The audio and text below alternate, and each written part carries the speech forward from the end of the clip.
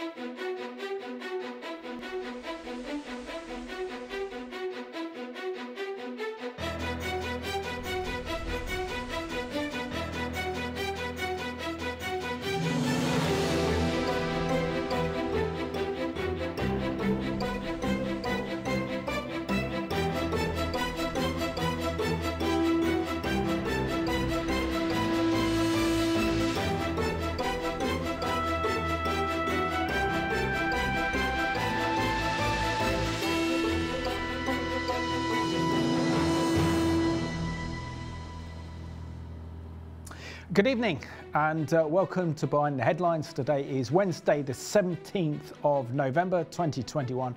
And in this program today, uh, we will be asking Is the Biden administration attempting to divide Jerusalem as the battle for God's eternal city starts to heat up? Uh, the US uh, administration are attempting to reopen the US uh, consulate, not in Ramallah, not in even Arab East Jerusalem but actually in West Jerusalem to deal with Palestinian affairs, which effectively uh, endorses their support for a Palestinian state and East Jerusalem as a future capital of a future state of Palestine. And we'll be asking what will the consequences be for America and the world. Uh, Regan, um, it's great to see you again, and it's great to be doing a program with you, particularly on God's beloved city. Absolutely. Jerusalem because there is no other city in the world that's like Jerusalem. Yeah, I quite agree. I, am sure you remember the very first time that you visited Jerusalem. I remember the first time I visited, um, not least because that's that's when I met my wife Rachel. Um, but an incredible city, rich with history. I've never been to a place like that, and that has so many layers of history uh, on every street. Uh, you can go to some place like Rome, but it still doesn't compare to uh, Jerusalem. It is truly a beautiful city. But um, what we're, we're dealing with here is a, a very long-standing, complicated in some ways, um, political situation uh, wherein Jerusalem has, if we're honest, been very unstable for ever since the time of, of Christ in, in regard to before its own, before that, yeah, exactly. So we, we see um, all, all of the way back to the days of the judges uh, and then to the days of the kings, uh, that it was always one of those land grab sort, sort of places where there was disputation, the enemies of God's people would constantly try to come against it. And sometimes, yes, God did allow um, enemies to come in and to pillage and ransack Israel um, but Jerusalem was primarily protected. You can think of, uh, if you've been to the British Museum, you'll have seen the detailing, the extra biblical record of the Assyrian onslaught against Jerusalem when Hezekiah was uh, said to have been pinned in um, to the city like a bird in a cage. And then suddenly the angel of the Lord breathes and 185,000 Assyrian troops die of, of plague and the historical record on the Assyrian side, it just it vanishes. They've hemmed him in like a bird in a cage, and then suddenly the Assyrians are back to Assyria, those who survived. Um, so Jerusalem was protected, but as we know, ultimately due to idolatry and um, falling into uh, a lot of the evils of the nations around, it was eventually um, taken but that reaped consequences for those who overtook it. It's consistently throughout the prophets we see uh, for anyone who comes against God's people, even though God uses their coming against God's people for uh, the purification of His people, they will reap God's judgment.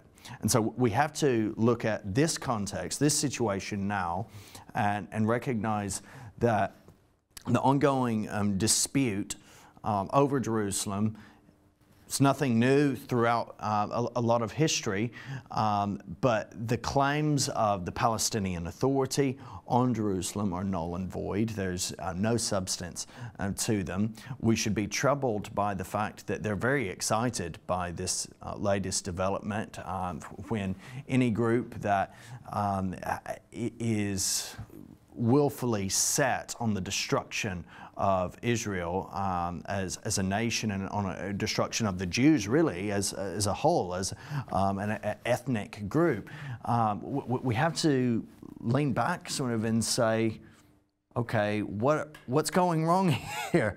They're excited about this. They think it's a, a good development. And as you quite rightly um, pointed out, well, why is this consulate not being opened up in it should be. It should be opened Ramallah. up in, in, Ramallah. But I think we also have to realise that Jerusalem is not just a city. It's yeah. not just a capital of, of Israel. This is the future kingdom in which the Messiah will return to. Mm. Um, Jerusalem, Jerusalem, is the eternal capital. Um, and there's only one people that have ever been identified with Jerusalem, and that's the Jewish people. It, it's, their, it's their spiritual home, it's their spiritual city, it's where the first and the second temple was, it's where uh, King David defeated the Jebusites over 3,000 years ago and set up um, Jerusalem as the capital of, of, the kingdom of Israel. This is where the Ark of the Covenant rested. Uh, this is where Tol- uh, Solomon built the fabulous first uh, Jewish temple uh, in, in Jerusalem. And then, of course, we saw that the, uh, the Babylonians destroyed it and then we go through the second temple period, uh, and then we see the destruction of Jerusalem and the temple in AD 70. Uh, and ever since then, no one's really owned that land. We've had empires come and go, but effectively no one's really controlled it. And, and if we look at modern history, I think we have to go back to the kind of Ottoman period, yep. that uh, the, it was uh, Suleiman the Magnificent, the um, Sultan of the Ottoman Empire, invaded Jerusalem in, in 1517. 400 years later, Jerusalem is liberated by the British Army mm. when um, General Allenby arrives, I think on the 17th of December, uh, 1917. Uh, and liberates Jerusalem. But out of respect for Jerusalem, he doesn't ride on a horse. He gets off his horse and walks through the Jaffa Gate. Um, and then we see then uh, the, the League of Nations gives um, the British uh, the mandate to prepare for the uh, for a future Jewish state. Britain rebels yeah. on that. We have the Second World War. Then after the Second World War, we see an escalation of violence between uh, the Jewish and Arab communities, particularly from the Arab communities, which means that it becomes ungovernable for the British. Mm. So the British then hand over to the United Nations to try and get um, a solution out of this. Uh, they failed because the Arabs reject the November 1947 partition plan, which means then that um, there's, there's no, no peace between Israel and Arab neighbors. Um, and then what we see then is that when the mandate expires, Dave, David Ben Gurion makes the incredible bold declaration and declares an independent state. Uh, Israel is then attacked by five Arab armies, um, and the Jordanians then control East Jerusalem, including the Old City uh, and uh, the Western Wall in Jerusalem. That is then divided between Jewish West Jerusalem and Jordanian East Jerusalem. And uh, we know June 67, Six Day War, Israel liberates Jerusalem, uh, Judea and Samaria, the Golan Heights, and the Sinai, uh, takes possession of Jerusalem and it's in Israeli hands and uh, really goes up to what we saw back in in December, uh, December the 6th, 19, uh, 2017, when President Trump says that he recognizes Israeli sovereignty over Jerusalem and, and says that he will move the embassy from Tel Aviv to Jerusalem. Then in May 2018, he does it. The new embassy is launched, and then the old consulate um, which is very, very close to the big Grand Synagogue in Jerusalem, um, becomes part of the Jerusalem embassy, uh, the American embassy in Jerusalem, and it no longer becomes the consulate. Mm. So that gives a little bit of a background history. But yeah. what we're seeing really is by the Biden administration, particularly uh, Antony Blinken, the uh, Secretary of State, is how they want to undermine what America did under Trump. And that commanded such a powerful an incredible blessing from the Lord to, to have um, the world's greatest superpower, the United States, recognize Israeli sovereignty over, the, over, the, over Jerusalem, and then to actually move the embassy and completely change the entire Middle East after that. The Biden administration is not viewing this at all through spiritual eyes. They're not viewing this even through the lens of history and the consequences on uh, nations, empires that seek to carve up um, Israel or in this case, just specifically Jerusalem. So the Democrats, particularly, are responsible for this. They are seeking to reignite the failed Oslo Accords in reopening the U.S. consulate, and it's it's not in Ramallah. Again, we there would be no issue with um, the, them having some sort of diplomatic relationship, that that's necessary on just a political uh, level, if for nothing else. In, in, Ramallah, they they're making a statement here. Uh, it's an obsession, really, with um, making a political point, almost asserting uh, Palestinian authority over Jerusalem. Yeah, we're talking about it's not East Jerusalem even. It's West Jerusalem that they're looking at having this uh, consulate um, based. And so th this comes as a real slap in the face of um, the Israeli government. It comes as a, a slap in the face of um, the freedom of the Jewish people to rightfully control um, Jerusalem. And, and so uh, the White House, in unilaterally imposing the opening of this consulate for Palestinians in Jerusalem, regardless of Israel's opposition to it. Um, you, you, you, look at that and you think, first of all, there's a complete lack of diplomacy. There's total disrespect of the Jewish people, of Israel as a nation. And logistically, it doesn't work. Yeah, it, it doesn't work. Because the Palestinian be Authority is based in Ramallah. That's the, the headquarters of the this PA. Could, it makes no sense. It could actually lead to violence. And surely you, you would have to think that the Democrats know this. You would have to think that um, this is going to cause uh, upstirring among Palestinians who will become in, in some way um, discontent or will think that um, if they encounter any pushback or any difficulty, um, that they now have the right to assert authority over that region. Well, this is also domestic influence, isn't it? Yeah. Because we know that the Democrats oh, yeah. have really embraced the extreme liberal progressive wing of the Democrat Party, and uh, we know they're incredibly hostile towards Israel. So if they then position themselves as they're doing, it looks like they're going to win favour. Just to remind you that we are live, we are interactive tonight. Um, this program is not the same without you, so please feel free to email or text into the program. And the big question that we have on tonight's Behind the Headlines is Is the Biden administration attempting to divide Jerusalem. It's enough to know your views and your opinions um, because this is God's eternal city. We have some emails already. Thank you, guys. Um, this is from Johnny. The Biden presidency is a catastrophe. At every juncture, they seem to be actively working against the interest of the U.S., which I, I quite agree with. Maybe they'll put Kamala Harris in charge of their Middle East policy. With her um, opinion poll rating at less than 28%, it's, uh, uh, it's not looking good for her, thankfully.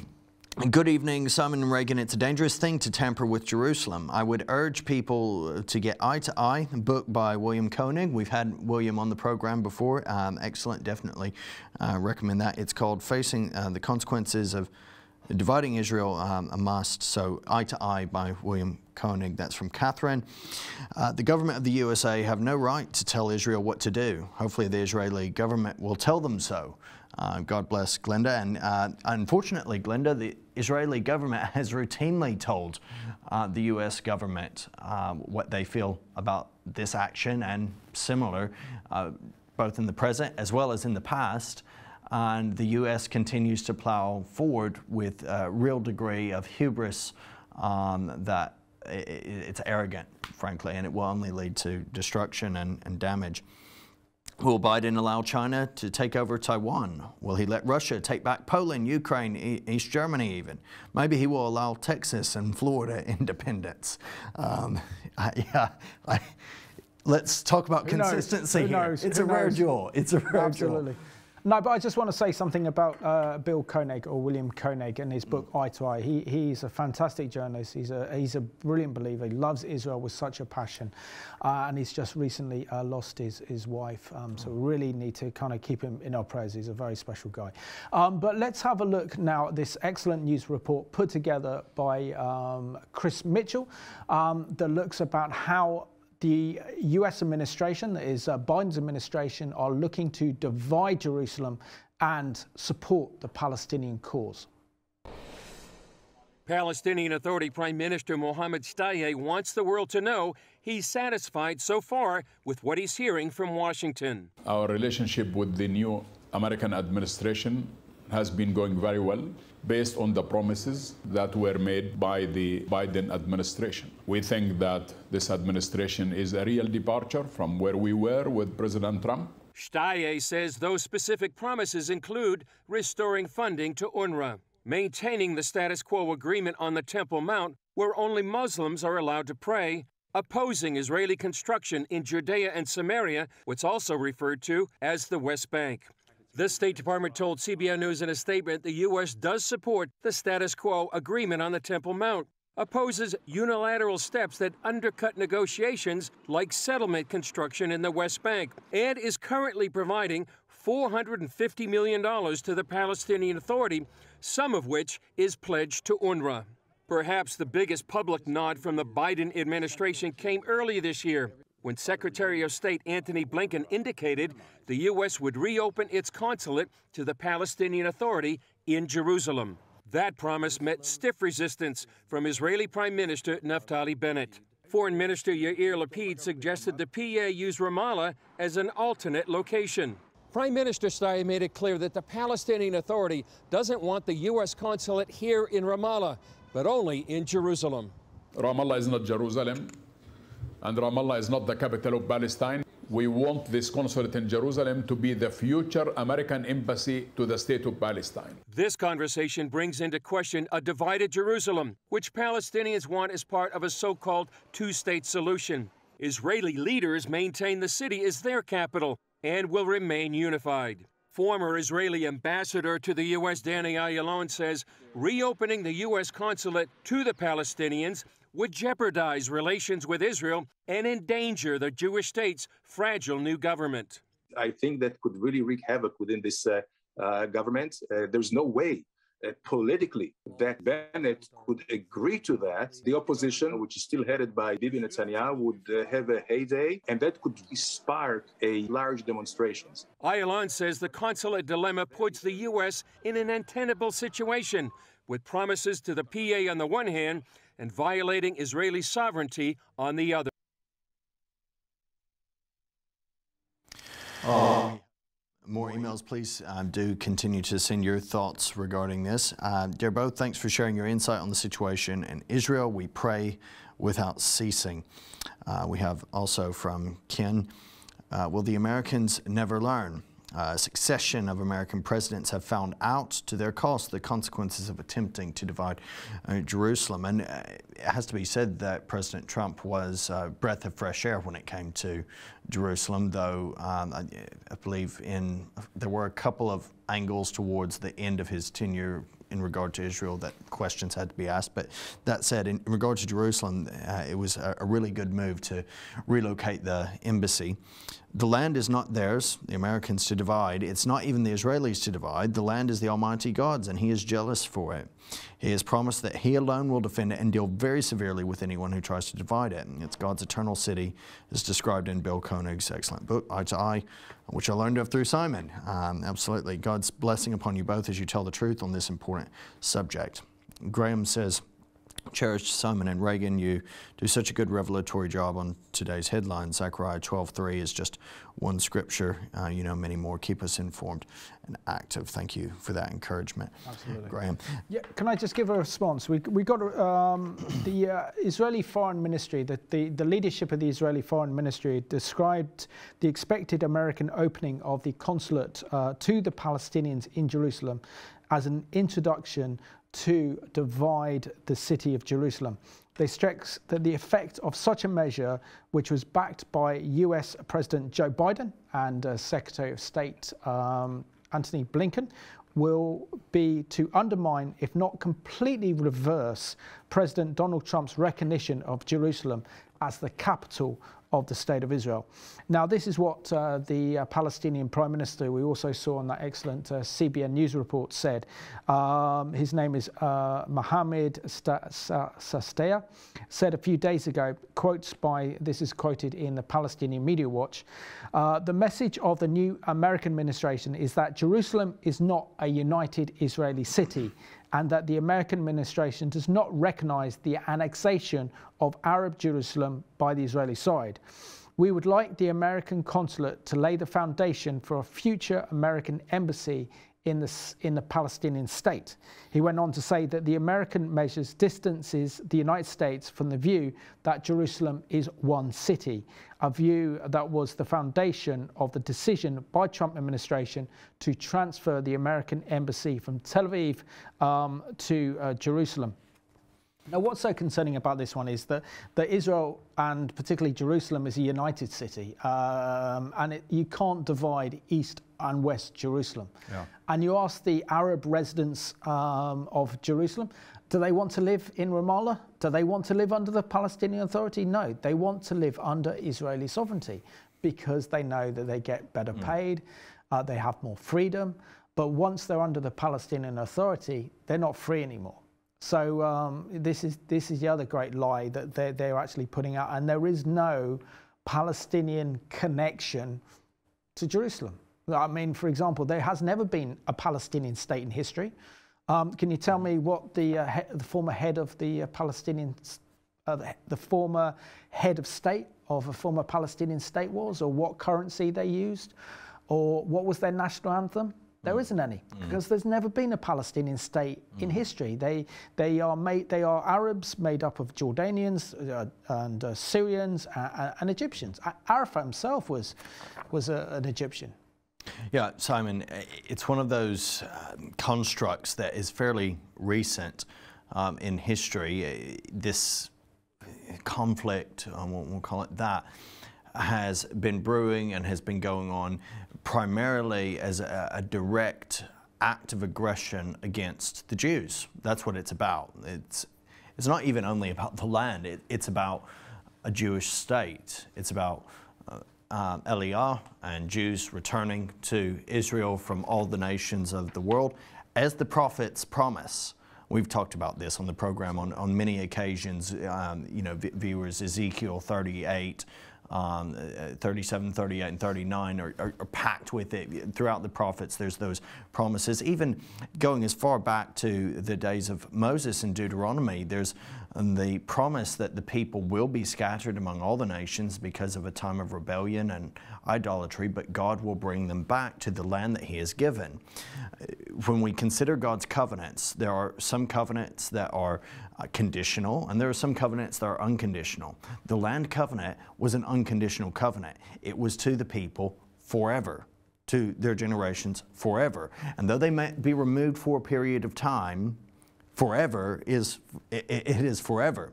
Now, I, have come across this. I know you have as well, Simon. There may be some viewers um, who will, will, think, well.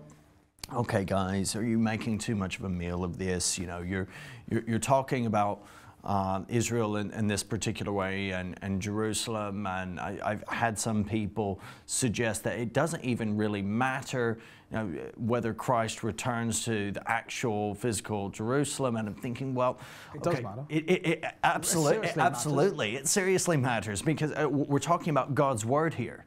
We're talking about the trustworthiness of God's Word uh, and whether or not it's authoritative, whether or not um, it, it, it is uh, effective for His people in regard to His and covenant. Also, it's also literal. Um, he says yeah. He'll return to the Mount of Olives. Like, uh, where is the Mount of Olives? His feet will stand there. Exactly. Yeah. So, so where do you want him to, to go? Salt Lake City? Oh, yeah.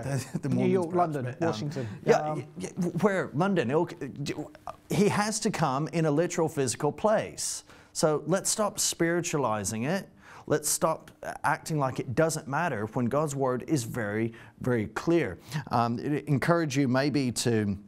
Um, look, look, up a copy of J.C. Ryle, uh, an old uh, Anglican bishop from the 19th century who, wrote quite a lot and, and, preached quite a lot on the significance of Israel. Before, before the state of Israel, he spoke quite prophetically uh, in line with Scripture of a coming day when God would bring the people back. And he pushed against that, that encroaching idea um, of replacement theology um, that, was, that was already beginning to find some inroads, saying you cannot spiritualize away Israel Israel. You cannot spiritualize away God's people. You cannot spiritualize away Jerusalem. Jesus Christ will really return. He really, he really will return to Jerusalem in real, actual, physical Israel. And he will reign, as the scripture says. And there's nothing else that we see. Um, so this act of um, the Democrats and this act of Biden, ultimately, we know is it, it's going to fail. It might succeed for a time, but it will only bring damage and, and, and harm um, upon those who, along with the Democrats and, and the Biden administration, continue to seek to carve up um, the land that God's promised. Absolutely. And one of the other reasons why uh, the Biden administration really want to reopen the U.S. consulate in West Jerusalem uh, is because uh, it was there that they uh, helped to establish the institutions of power and uh, security mechanisms of the Palestinian Authority. Uh, it was the CIA who helped build up the uh, Palestinian police force and um, security forces. Also, they supplied the US administration in Washington with figures about Israeli construction uh, in the biblical heartland of Israel, which is Judea and Samaria and in the Jewish neighborhoods in eastern uh, Jerusalem so that they could operate against it. Uh, we also see that the Biden administration is preparing the ground for the move and e has even allowed a budget to operate the consulate. It has begun looking into opening the branch of the consulate in the east of the city, and American sources classified the, uh, clarified the opening of the consulate is an election promise made by Biden uh, he owes to large parts of the Democratic Party. So I think that gives a lot more of a kind of background to the reasons. But this is actually illegal under international law, under, under Israeli law. So if the Israelis say you can't have this, then they're not going to have it. But that doesn't mean that the Biden administration will not put huge, huge amounts of diplomatic pressure, maybe even economic pressure on Israel to push through uh, reopening the consulate in Jerusalem. But it doesn't make sense because you've already got the uh, the U.S. embassy in Jerusalem. I've seen it; it's a fabulous building, um, and that's where they also deal with the uh, kind of Palestinian issues from there. And if you want to, so if you really want to have U.S. representation to the Palestinian Authority, then build a building in Ramallah where the Palestinian Authority is. It makes no sense to be so disconnected from the Palestinian Authority to open the US consulate in Jerusalem. Why would they not want it in Ramallah, Simon? Because it, it goes against the, the Palestinian idea that their ultimate goal is the creation of a Palestinian state uh, and to have East Jerusalem as its uh, future capital of a Palestinian state. But that's not the end goal um, because Arafat made it very clear in the, in the, late 1960s and took this idea from the Viet Cong is to take Israel stage by stage. Mm. Um, uh, the, the, PLO were not winning much support internationally. Um, for calling for genocide against Israel, destroying the whole of Israel and replacing it with a Palestinian state. It, it, it didn't sell no. internationally. So it was the Viet Cong they actually decided to, to sell the Palestinian Authority, the PLO uh, as it was then, um, the idea take Israel stage by stage, mm. get as much territory out of Israel as you can, and then when Israel's weak, launch a full scale attack uh, and actually destroy uh, the Jewish state and the state of Israel. That's been the ultimate plan. And they used this, and they used the same campaign tactics as the Viet Cong did in the uh, against the Americans. They used the universities. They used academia, they used the media, they organized great uh, peace protests all across the United States protesting against the Viet Cong War. And the Americans didn't lose that war mm. in Vietnam. They lost it on the campuses in the United States. They lost it on the TV screens. They, they lost it uh, because America was no longer willing to pay that sacrifice for the war effort in Vietnam. And the Viet Cong advised the PLO to do exactly the same. So this is the ultimate goal is the eradication of the state of Israel because uh, they still look at this conflict 70 years on and do not even recognize that Israel has a right to exist. And this is why I, I get really fed up when people say that why should we support Israel because Israel is oppressing the rights of the Palestinians, that Israel's doing nothing for peace, mm. uh, and that Israel is essentially the problem, and that Israel doesn't hold to Christian values. Well, the thing is, Israel's having to deal with an enemy that wants to destroy her. You only have to look at the Palestinian media and uh, its education system and look at the incitement against Israel. They want Israel's destruction. They are supported and backed up by the Iranian regime. They are backed up by the most extreme elements within the Middle East that want Israel's destruction. And when we talk about the plight of Palestinian Christians, who's to blame for their suffering? It's the Palestinian Authority, it's Hamas that are to blame.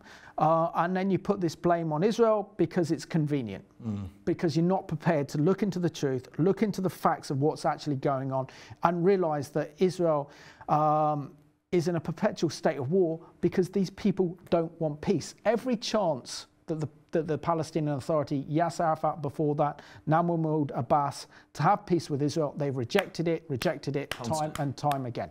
They don't want peace. They don't actually want a Palestinian state. They just want an area of territory that they can use to get international support to destroy the state of Israel. If you wanted peace, you wouldn't be constantly um, attacking Israel through all manner of different means. If you really wanted peace, yeah, you, you, wouldn't continue to have in your constitution. Nothing's changed. In the constitution, there's still this idea of the eradication of, um, of the Jews from the land. If they really wanted peace, uh, that they wouldn't tie themselves to enemies of Western states. Throughout history, I mean, look at it. Um, close ties and dealings with um, people like Idi Amin, and you mentioned the, the Viet Cong as well. Saddam Hussein Just, and others. Come on. All of these guys uh, who they're happy to have links with, um, the IRA as well, um, very, very supportive. Yeah, the IRA, very, very supportive of um, the Palestinian Authority.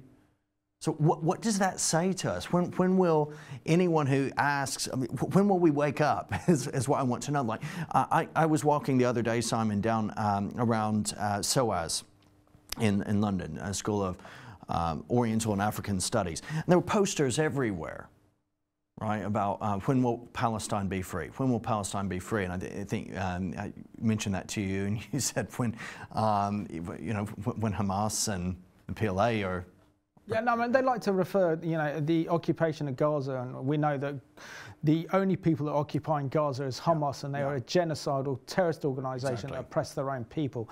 And it's the same with the Palestinian Authority. Mm. They haven't had any election since 2005 when Mahmoud Abbas was elected in 2005. He's still serving one term, and uh, this is 16 years later. Um, earlier today, I had a, a great privilege of um, interviewing uh, Dr. David Wurmser, who was the Middle Eastern foreign policy advisor to Dick Cheney in George W. Bush's administration. And this is his thoughts on Biden's plans to reopen the uh, US consulate in Jerusalem.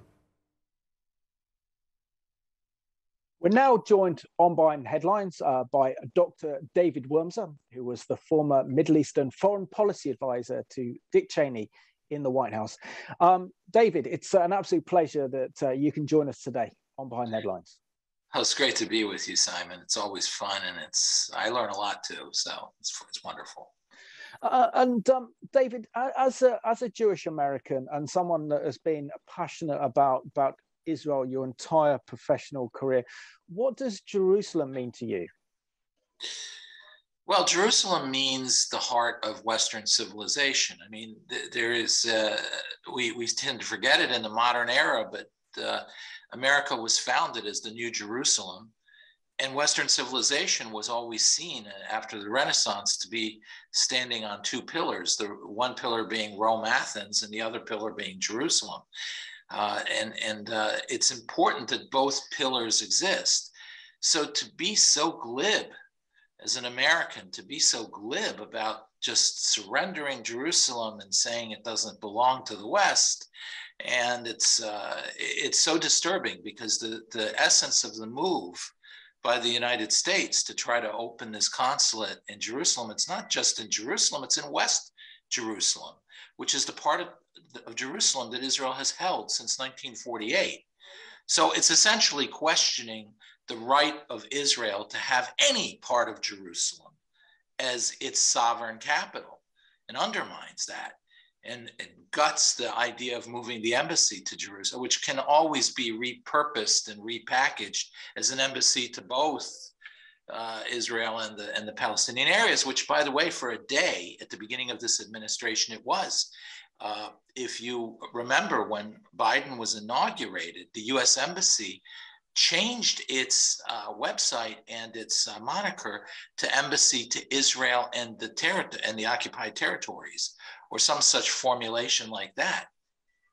So there's this constant move by this administration to rip Jerusalem away from Israel and away from the heart of Judeo Christian civilization, as if we have no right really laying claim to that, neither as a Jew nor even as a Christian. So it's disturbing on so many levels. And we can get into some of those levels uh, in much greater depth if you'd like. Yeah, very much like to do that. But before we do, um, can you describe what it was like to be part of the um, Trump administration and uh, the declaration that President Trump made that he was going to move the US embassy from Tel Aviv to Jerusalem. I think that was in December of 2017. Um, and then by May of 2018, we saw the embassy moved and effectively meant that the Trump administration was recognizing Israeli sovereignty over Israel's eternal city, uh, Jerusalem. Um, can you share with us how monumentous event this yeah, was, was, in Israeli was, history relations? It was. It was monumentous because um, it, it reflected a coming to terms with both reality and morality.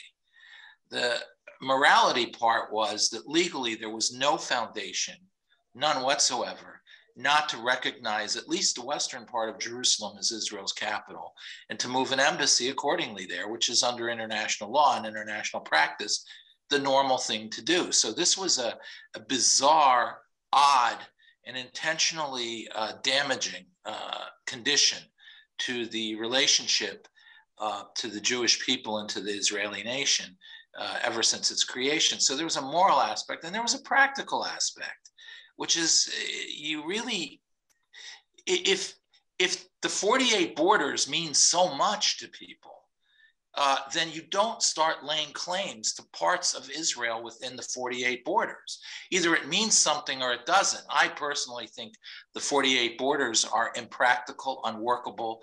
And again, Israel has legal rights beyond them under the mandate which I think we've discussed in other uh, sessions. Uh, so, so I don't, I don't see the, the the 48 borders as being sacrosanct in any way.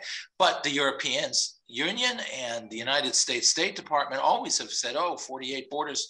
Well, here we are trying to rip away West Jerusalem, which has been part of Israel since 1948, and make a consulate that serves people in the West Bank in West Jerusalem.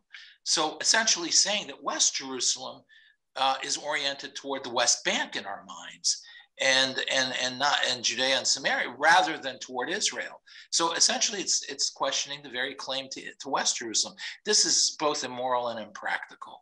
Uh, it, it's it simply boggles the mind. So when the United States decided to move the embassy to Jerusalem, it, it felt it was not, it wasn't just a campaign promise that every single presidential campaign has promised in 50 60 years ever since 67 or even before. Uh, these these campaign promises were uh, eternal every campaign season. This administration actually decided if we promised it we'll do it and they did it. So that in itself was quite momentous. However the correction of the moral and practical issue was truly uh, moving. That, that this really was finally a rectification of something that was horribly wrong and really raised serious doubts about the solidity of Western support for Israel all along. So, um, David, can you share with us what is the attention behind uh, President Biden and also the uh, Secretary of uh, State, uh, Antony Blinken's decision to try and pressurize Israel into um, allowing the creation of a US consulate, uh, as you said, in, in, in West Jerusalem um, that will serve the purposes of the Palestinians. But isn't there also an embassy that uh, in Jerusalem that took over that function um, back in 2019? Yeah, and that's a very serious legal issue, both in terms of US law and Israeli law and international law.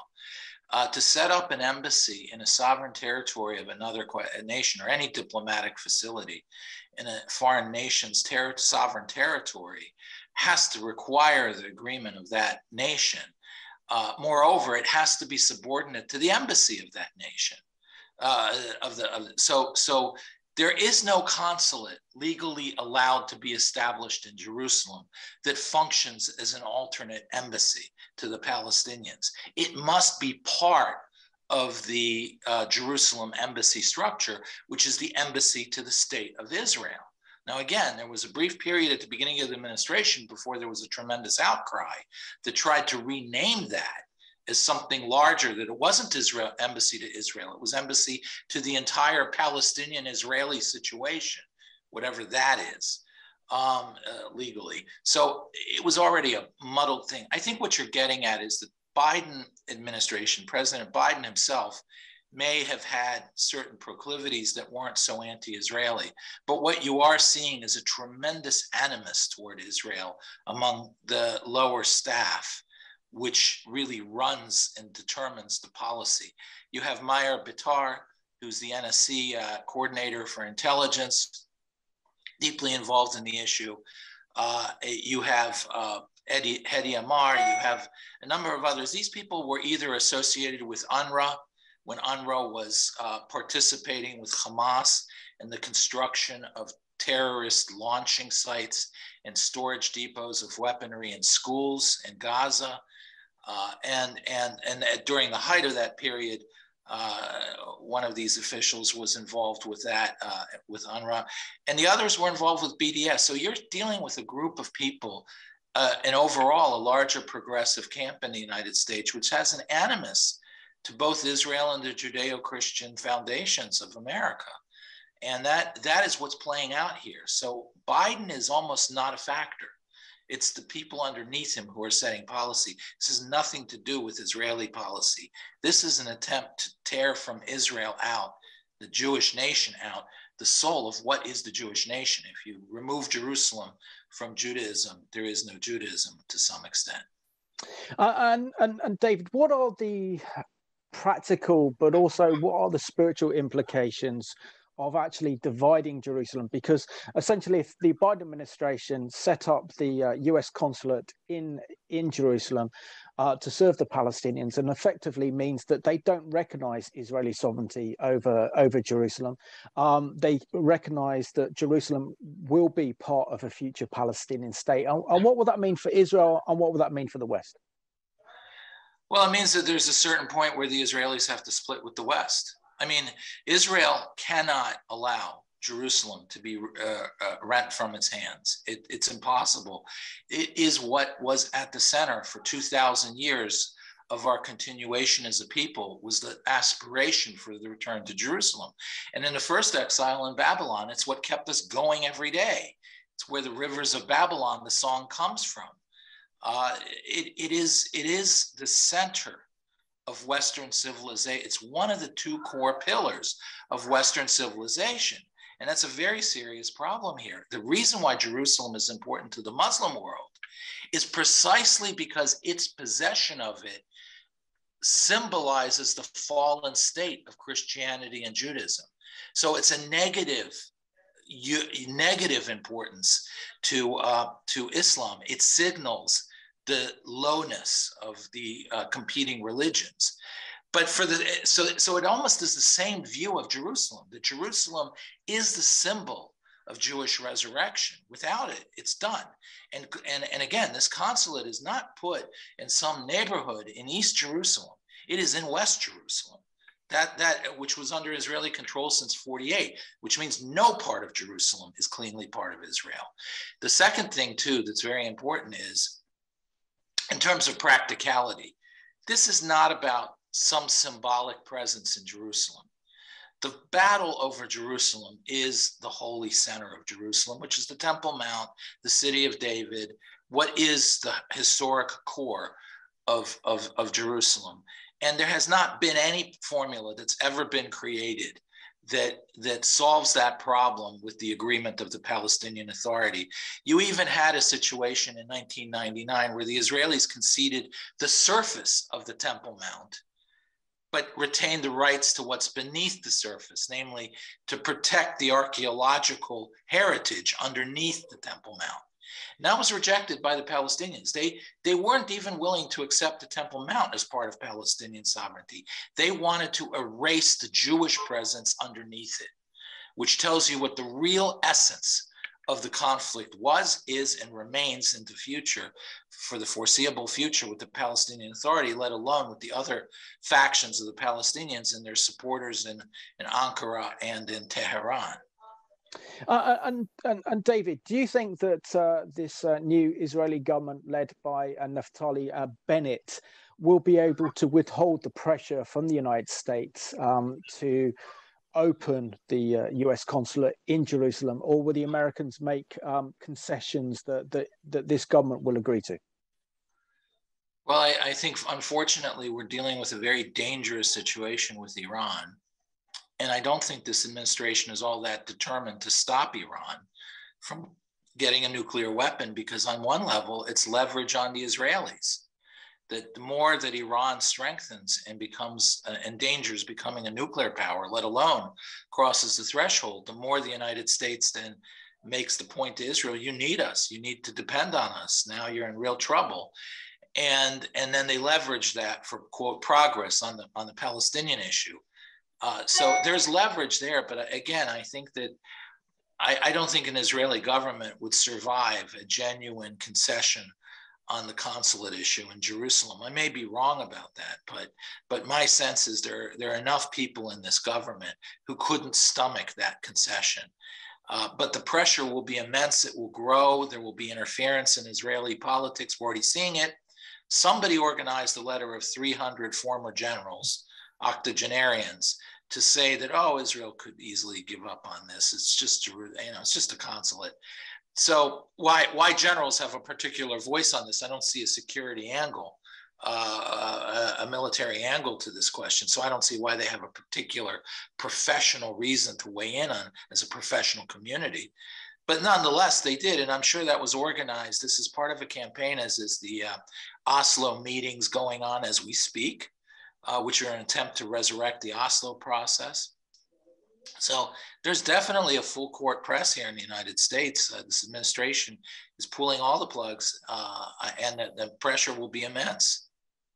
Uh, David, I want to thank you so much for joining us for Behind the Headlines, and thank you for giving the warning because there is a battle for Jerusalem, and we've got to fight that battle that to ensure that Jerusalem is never ever divided and it remains under Israeli sovereignty.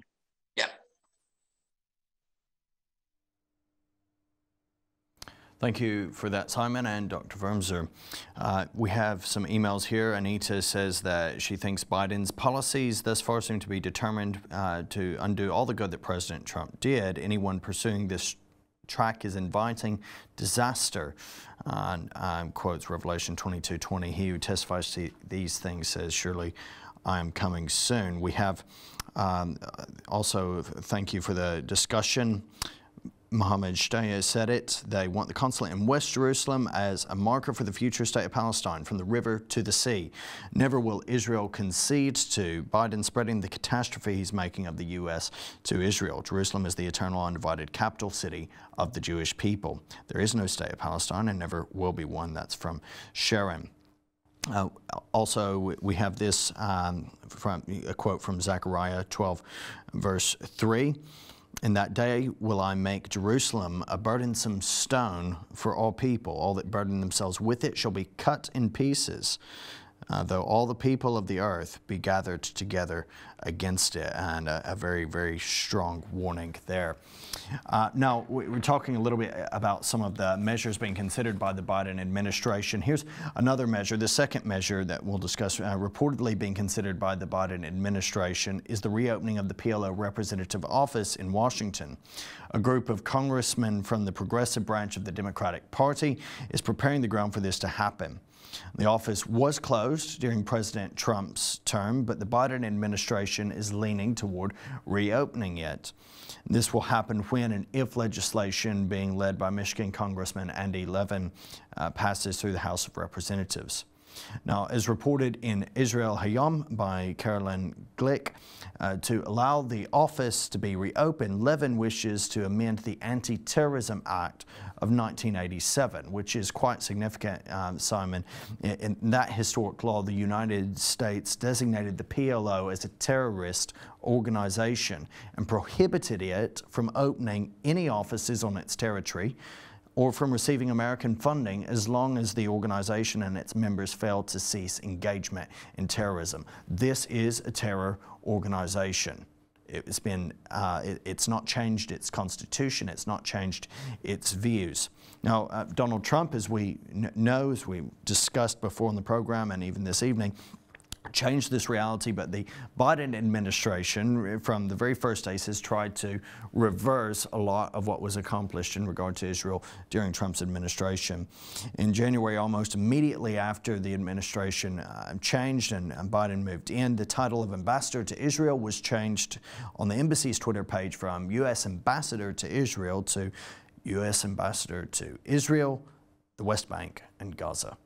So we know the agenda that's steering Absolutely. So, I mean, essentially, the Biden administration and the Democrats, if this is Trump's policy, then we'll do the complete reverse. And this is on everything from climate change to Israel to Iran to the economy. And uh, they're making a right hash of it. Now, what worries me in particular is that uh, for, for the Palestinians to come to uh, into peace negotiations with Israel, there has to be a cost. They have to pay a price in order to enter into negotiations. We've seen that Israelis been forced to freeze settlement buildings, whether that's in Jerusalem or in Judea and Samaria, that Israel would have to give large swathes of land to a future Palestinian state uh, for peace. We've seen that Israel's withdrew from, uh, unilaterally withdrew from Gaza in 2005 uh, for peace, and look where that got Israel and the West. And, and what price is the Biden administration putting on the Palestinian Authority um, and concessions they have to make to come to the negotiations to get US support? None. Is, is, is the actual answer. So quickly, the Palestinians have been frozen out of the, of the peace negotiations with Israel under President Trump because they were not prepared to make concessions uh, for peace and didn't want to end the 70 plus year conflict. Uh, we see that under Biden, the Palestinians have not been asked to stop their incitement or their terrorism and violence against Israel and the Jewish people in their education system, nor have they been told to stop their funding of the Palestinian uh, terrorists in Israeli jails that have blood on their hands. Uh, they have not been um, any demands placed on the Palestinian Authority to reform and end the billions of aid money that has been wasted in corruption. Uh, there's been no demands to stop the awful human rights uh, violations by the Palestinian Authority against their own people uh, when they expressed their concerns about the authoritarian nature of the, of the uh, Abbas regime. And uh, there's been no calls by the US administration for the Palestinian Authority to have any parliamentary or presidential elections, and the last elections were in 2005. Um, and sadly, if we had an extra 10 minutes, we'd go through and just get you some of the statements from Israel's leaders on what their thoughts are. Now, when it comes to Israel, we can't be on the sidelines. We can't be apathetic. We can't be indifferent because we know that God has a particular plan for Israel and the Jewish people, and the nation is there in fulfillment of biblical prophecy, and you can't deny that. You can't deny the connection that the Jewish people have with the land of Israel and with their eternal city, Jerusalem. And at the moment, there is a, underway a battle for Jerusalem um, in which uh, the Americans are supporting uh, the uh, Palestinian Authority and the extremists in the Middle East um, because this is part of our Judeo Christian heritage. If Jerusalem goes, we lose Jerusalem, we've lost the West. This is why it's so critical that we need to continue to pray and stand for Israel and the Jewish people, but also pray for the peace of Jerusalem, mm. because after all, This is where the Messiah is coming back. He's coming back to rule and reign, and he's going to land on the Mount of Olives. And where the Mount of Olives? There in Jerusalem.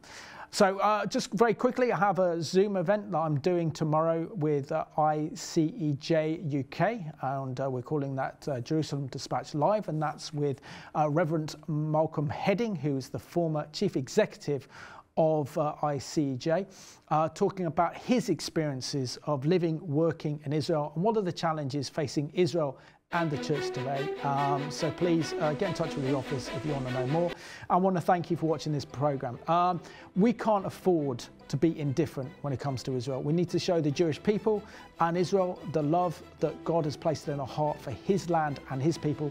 This is why we have to fight and pray for the peace of Jerusalem. So thank you for watching Behind the Headlines.